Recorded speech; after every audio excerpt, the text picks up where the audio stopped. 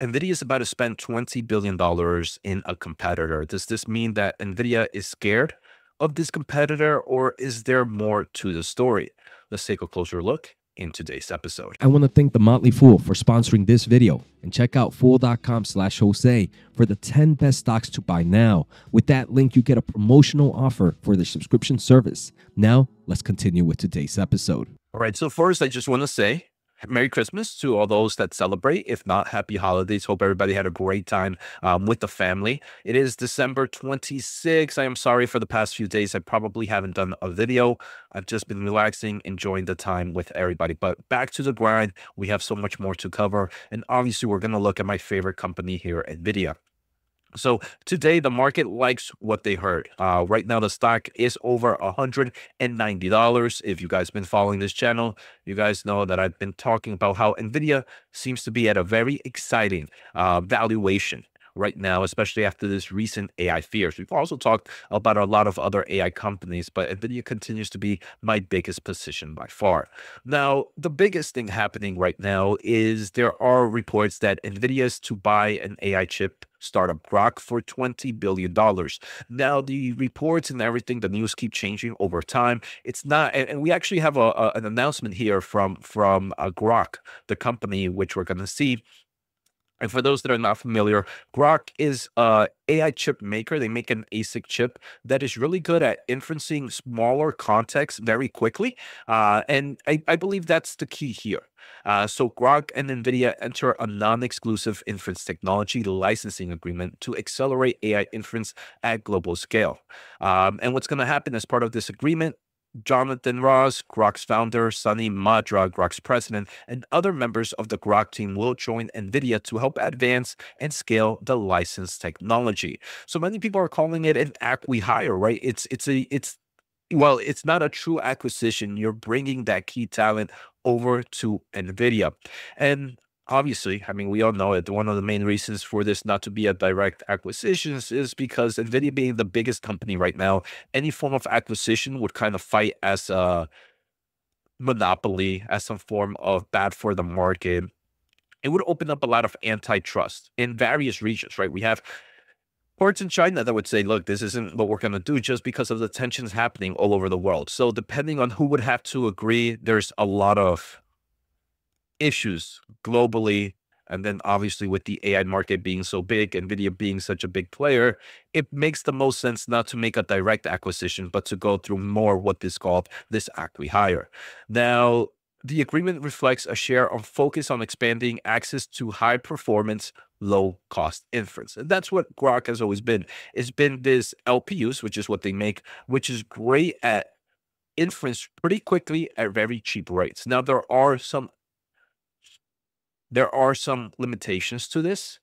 And obviously, right, because everybody could say, Jose, if this is such a great chip, why hasn't it really taken off? And the reason is it's very limited to certain aspects in certain markets. And then you have to build an overall infrastructure just based on this chip. And this is why I think NVIDIA has actually made this acqui-hire. And I'll talk a little bit more about that. First, I just want to see what the overall street was kind of discussing. Um, we have this post here that we can see some firms, uh, Cantor, we have Bank of America, we have uh, Baird, all either increase the price target or maintain the price target due to the strength that they see uh, this strategic deal with Groq. Uh, so many are saying NVIDIA Groq deal in line with AI inference push, uh, says Baird, price target at 275. And you're going to see a lot of other people believe that this is a great deal. I personally believe it is a great deal. I agree with them there that it is expensive, right? Some people expensive but strategic. I do believe it's expensive, but I think it's strategic. Now, first, first, where would NVIDIA, in theory, get this money? First, it, with thanks to this amazing, amazing run in the AI market, total cash and cash equivalents sitting at $60 billion right now. This is massive.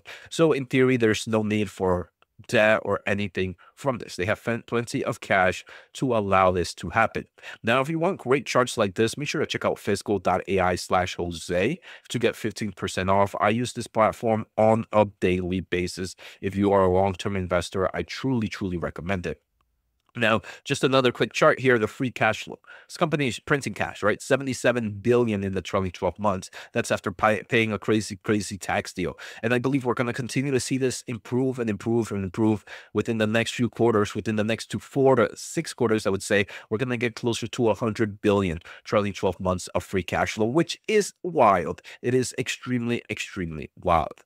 Now, there are already some information going on. Uh, so WCCF Tech posted the following from an internal mail from NVIDIA CEO Jensen Huang. We plan to integrate Groq's low latency processor into the NVIDIA AI Factory architecture, extending the platform to serve an even broader range of AI inference and real time workloads. While we are adding talented employees to our rank and licensing Groq's IP, we are not acquiring Groq as a company.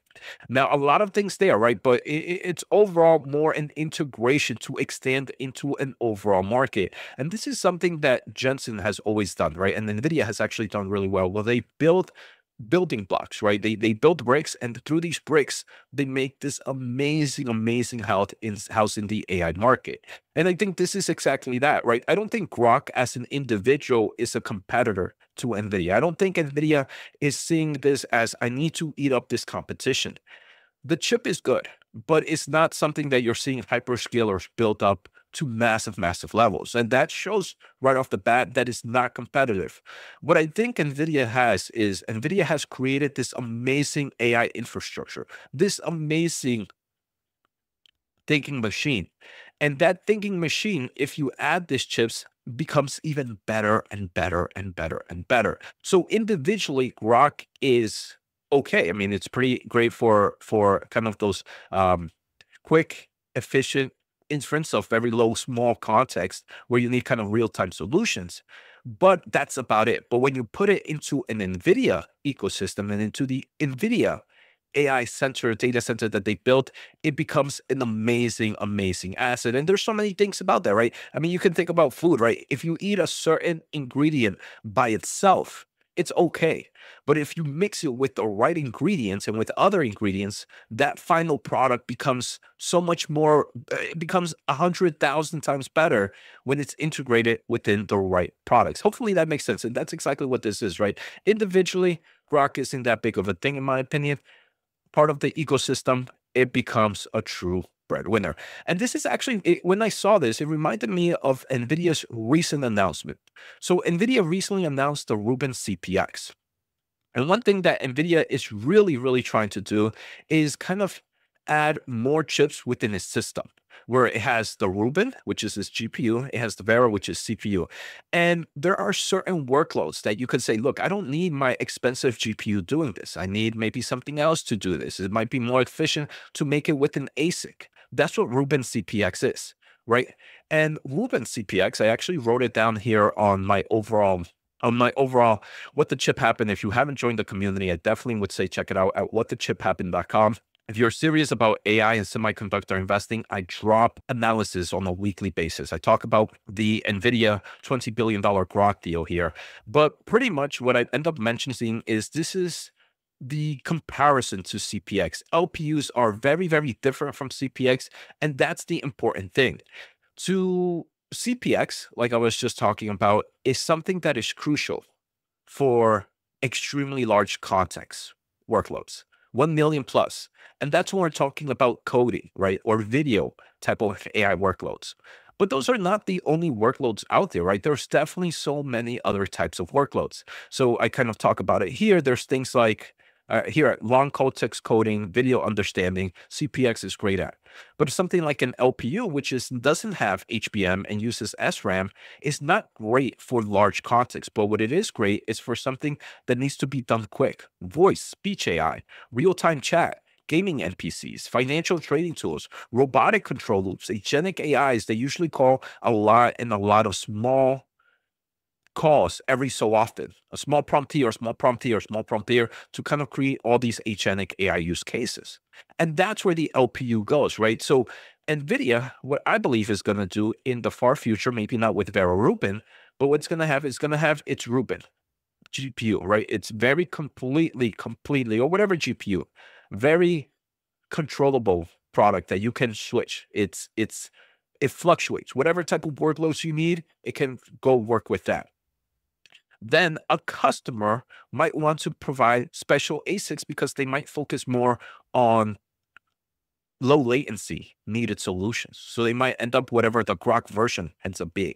Or maybe they're really focusing on coding or video. They're going to buy the Rubin CPX and so on. So now NVIDIA is going to have this you can mix and match how you want your data center to re be really built. At the end of the day, because it's still a GPU solution, it's still going to be great for every type of workload. But if you have some unique use cases, you can go out there and add the extra ASIC, the extra CPX, the extra Groq. And I think that's what's going to make this amazing because we are getting into that robotic stage. We are getting into that agentic AI stage. And I think this acquisition, acquihire, is the perfect, perfect way around it. So I would say the cost might seem a little expensive, but the opportunity is extremely large, right? If robotics is really a multi-hundred billion dollar opportunity, this is a no-brainer. If agentic AI is going to become massive across various workloads, this is amazing because then you're going to be able to send some of these workloads to those other ASIC solutions, being the Groq or the CPX, and your GPU ends up doing even more intensive workloads, and you end up becoming and providing better total cost of ownership for your customer. And at the end of the day, that's going to win. Now, something like this, where you can now start to add ASICs into your GPU, it tells me that a lot of the ASIC competitors might not end up doing so well. I mean, I believe there are a few players out there that will continue. I mean, TPUs are not going to stop anytime soon. Trainium is also doing pretty well. But outside of those two, I don't know if it makes any sense for the other competitors to really release them out when NVIDIA is just going a thousand bazillion miles per hour. Um, so I, I think a lot of players are probably just spending too much money. Uh, so I, I'm really excited to see more and learn more about this. Hopefully, we get it during the next GTC DC or, or GTC in general in in in um, California, where we really understand the master plan behind this. But I do think it's extremely bullish. I believe this is going to help NVIDIA continue to have a massive moat in the AI space.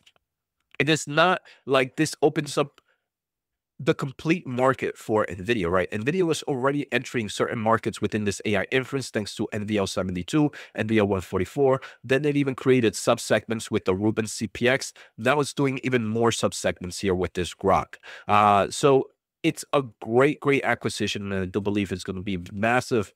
in in the next three or five years, we're going to say this was the Mellanox acquisition of the twenties, uh, uh of the mid twenty twenties, right? It, it, Mellanox was crucial for Nvidia's success in networking. I think this is going to be a nice addition for low latency agentic and robotics and real-time solution needs uh, that is going to help nvidia make a nice amount of money so again i hope you guys enjoy if you really, really want to become a better investor, I personally use what the chip um first uh, fiscal.ai slash Jose. I use this platform on a daily basis and also make sure to get that research out what the chip happened.com.